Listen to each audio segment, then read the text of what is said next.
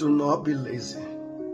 Proverbs chapter 18, verse 9. New Living Translation reads, A lazy person is as bad as someone who destroys things. Laziness is bad. There's nothing good in laziness. There are some reasons why a person must stay far away from laziness. Number one, laziness prevents you to be self-realized.